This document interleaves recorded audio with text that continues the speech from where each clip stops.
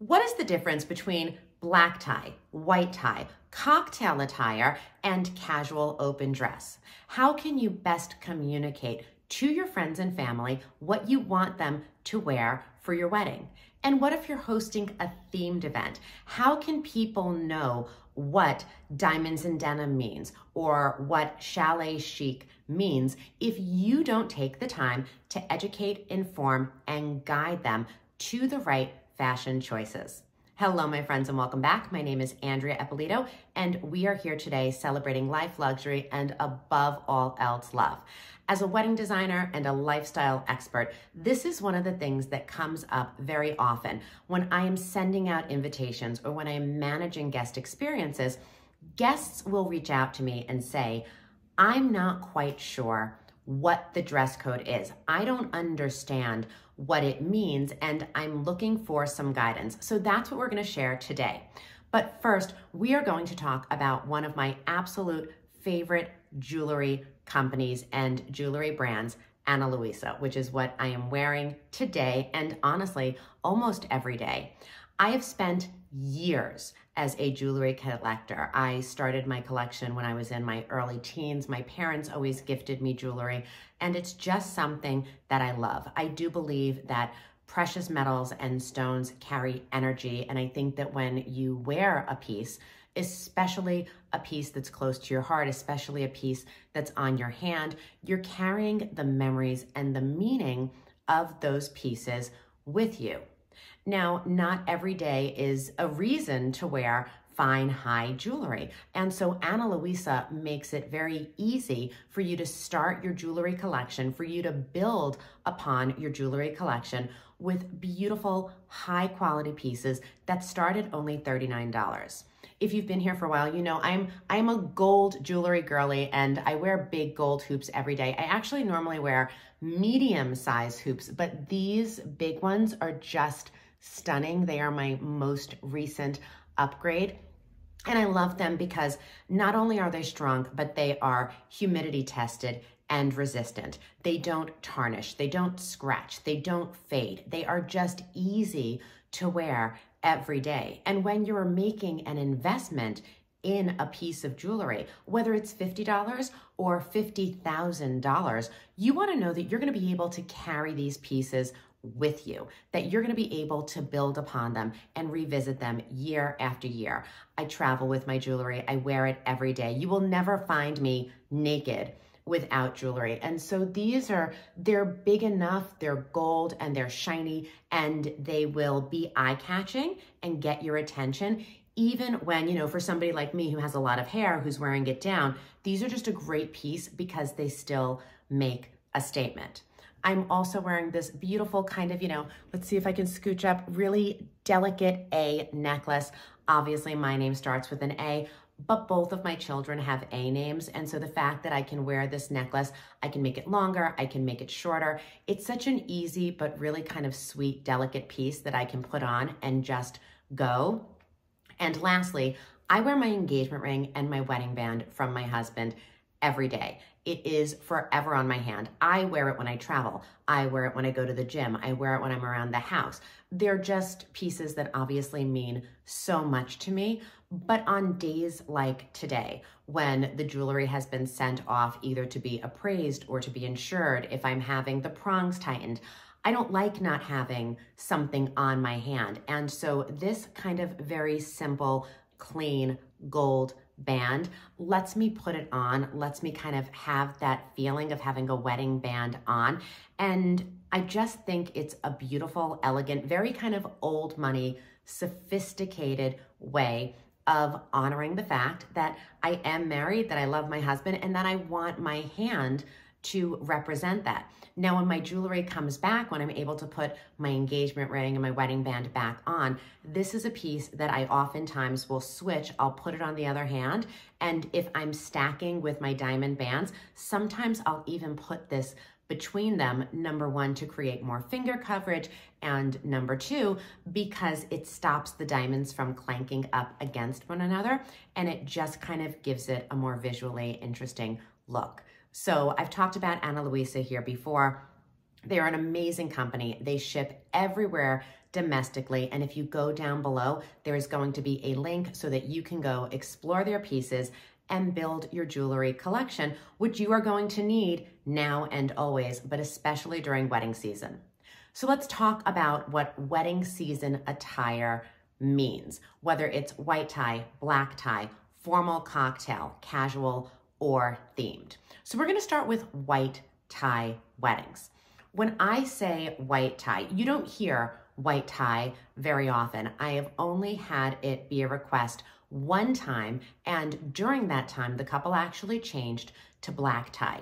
Because when I say white tie, I want you to think of the Met Gala. I want you to think of Gatsby. White tie is the height of sophistication, of embellishment.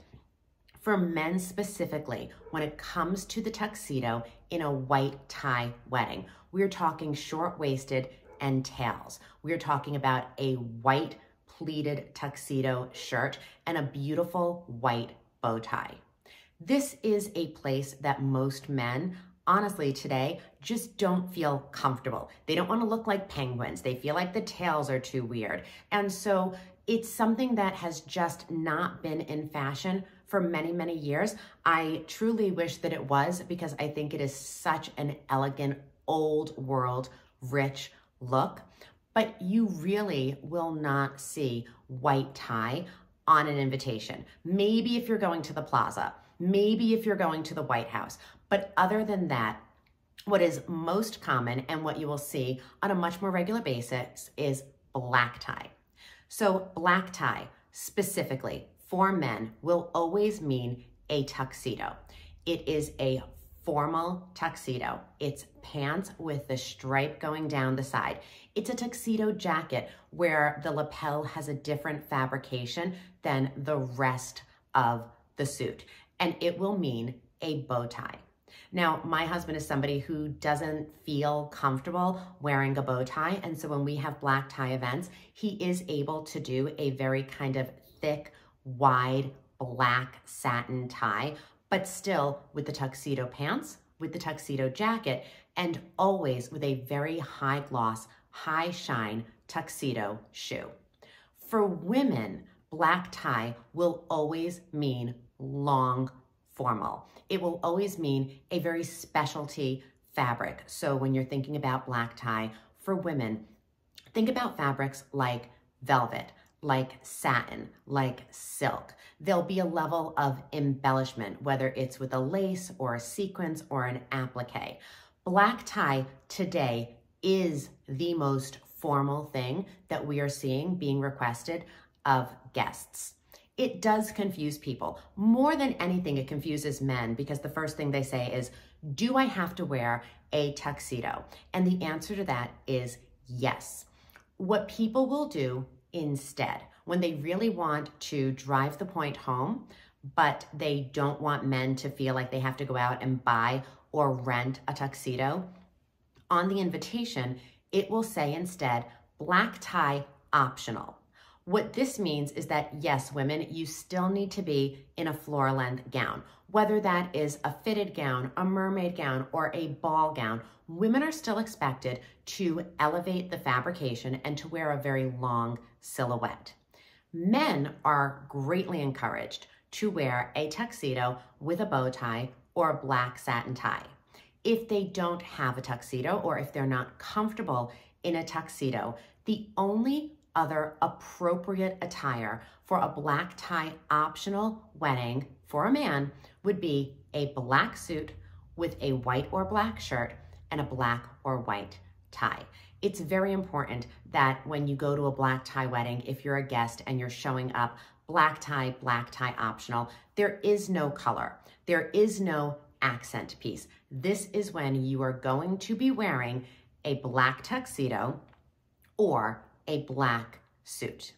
Black tie optional, you may get men in a navy blue tuxedo. You may get men in a maroon tuxedo. I personally don't necessarily always enjoy this because one of the big pieces, one of the allure of a black tie, black tie optional wedding is that as the couple, when you get your photos back, everyone looks beautiful. Everyone looks put together. Everybody looks the same and there's a thread that's pulled through. And so if you're a guest who where everyone else is in black and you're wearing blue or you're wearing maroon or you have this coloration or a pattern, you will stand out in a couple's photos in a way that I don't always feel is appropriate because the focus should be on the bride and groom. And there's a very good chance that the couple is asking for black tie, black tie optional, and that the groom, if there's a groom, is going to be wearing something else. Perhaps he's walking down the aisle in a black tuxedo and then changing into more of a patterned tuxedo smoking jacket for the reception because our grooms really want to have an opportunity to stand out and tell their story as well. So if you're not going to be white tie, if you're not going to be black tie, and you're not going to be black tie optional, the next thing that you will see on invitations or that you as a couple could ask for is formal cocktail attire. This opens up the floodgates quite a bit. For women, cocktail, formal, formal cocktail, any of those combinations of words. This is going to allow a woman to not necessarily have to be in a full floor length dress. This is where you're going to see dresses that are really at that knee length. So to the knee, slightly above the knee, slightly below the knee. You're not gonna see as much of a heavy fabrication. In the winter, you might see a knee length strapless velvet dress with a wrap, but you're not gonna see anything that is super overdone. You're not gonna see the ornate sequence. You're not gonna see feathers or embellishments or ruffles or shoulders or anything like that.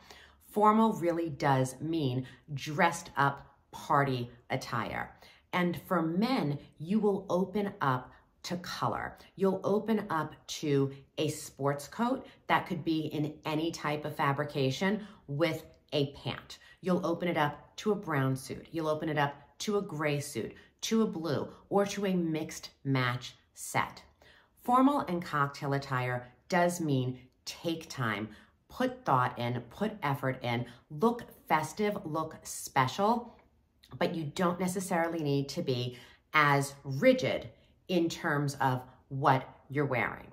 I personally think that this is the type of thing you would see if you were hosting a wedding at a restaurant, if you are hosting a wedding on a vineyard. It's something you see for rooftops or alternative you know, locations such as maybe an art gallery or something along those lines. Definitely appropriate for a country club. Whereas formal and black tie, you're definitely gonna wanna put that if you're having a formal hotel wedding. So anytime you're going to a Four Seasons, a Ritz-Carlton, if you're going to a place that is historical and elevated. So think about things that you would do at the Plaza, at the Rainbow Room, at Oheka Castle, or if you were in Las Vegas, imagine going to a wedding either at the Wynn or at the Bellagio. These are places that really demand and require that extra step of black tie, black tie optional, long dresses, beautiful dark tuxedos, dark suits. Whereas if you are opening it up, maybe it's a little bit of a younger couple, maybe it's a little bit more of an artsy open format wedding, you can definitely do something that says formal. What I find a lot of couples have though is they want everyone to look really dressed up. They want them to look beautiful. They want them to look special, but they're afraid that if they put cocktail attire or formal attire, that people will dress down too much. And so instead, they put black tie optional because it's a way to give the guests that little thing in the back of their head of, don't be the couple that's underdressed. Don't be the couple that shows up in color. Don't be the couple that shows up, you know, for a man in a blue suit or in a gray suit. This is when you really, really want to step it up. And so the black tie optional will oftentimes get you to a really formal, beautiful look without the guest having the pressure of saying, oh my God, I have to go out and rent or buy a tuxedo. So these things are pretty easy for a guest to Google on the internet and to get an idea. The place where things get much more confusing is when you are going to be hosting a themed event. So, as a wedding planner based in Las Vegas who travels all over the country producing weddings, what will often happen is I will be producing a series of events. So, a few years back, we had a wedding in Lake Tahoe. We had multiple events over the course of five days. And so we had something where we had a kind of very upscale, festive, holiday chic event at the couple's home for very, very close immediate family and friends. And the theme was holiday chic. The next day, we had a kind of ski chalet inspired welcome party where we took the ballroom of the Ritz Carlton Lake Tahoe and we turned it into just the most luxurious skiing experience that you would ever want to have. We had gondolas, we had beautiful furniture, and we wanted people to imagine that they were doing this, you know, upscale cocktail party in a skiing environment. The next day was their black tie wedding, and then certain people were doing a brunch the day after that. And so what we did was we gave an itinerary and we said, okay, holiday festive for us specifically means upscale cocktail attire. It means we would like the women to dress in holiday shades. So holiday shades meant green, blue, red, gold, and metallics. It meant that for the men, we wanted them in sports coats or beautiful vests with button down shirts. We wanted everyone to have kind of just a little bit more spirit of the holiday season, we encouraged people to wear, you know, glittering jewelry and snowflakes and things like that. And so I actually wrote out, this is what holiday chic means. And then to give people, because I just don't think that people understand words as well as they used to, to give them another layer of information, I went online, I went on Pinterest, I went on Google, I went on Instagram, and I pulled images that I felt were going to align with the couple's vision. And I made a collage. And I took this collage with the description and I put it on the couple's website. The same thing for when we did our kind of, you know, chic chalet vibe. For this, we wanted to lean into winter. We were looking for things like beautiful jumpsuits for women that had a warmer fabrication. So touches of fur, touches of velvet. We were looking for something that gave you the feeling almost of being outside and we wanted it to be very neutral. And so we were pulling things that had really warm, rich browns, caramel colors. We were looking at, yes, of course, always black, but we were also looking for winter whites, things that would evoke the feeling of snow and of being in a chalet environment. And then for the black tie wedding, it was very important to my couple that everyone wore black. Not just black tie, but that there wasn't any color in the guests. And this is because when we did their photos, we wanted to make sure that number one, my bride stood out amongst everybody in her beautiful white fashion story, but also we wanted a level of consistency. We wanted the outfits and the attire to be upscale, to be luxurious, but we didn't want one or two people standing out with any extreme pops of color. So nothing like a gold lame or a red or a green. We were very specific in saying black tie for men means only a tuxedo not a black suit, nothing like that. Men must be in tuxedos.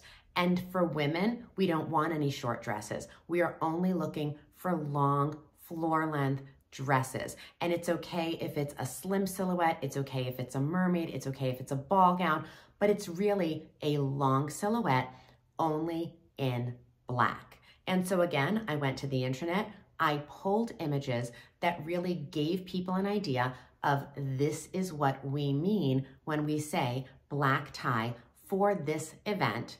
And I put together a collage and I put it on the wedding website.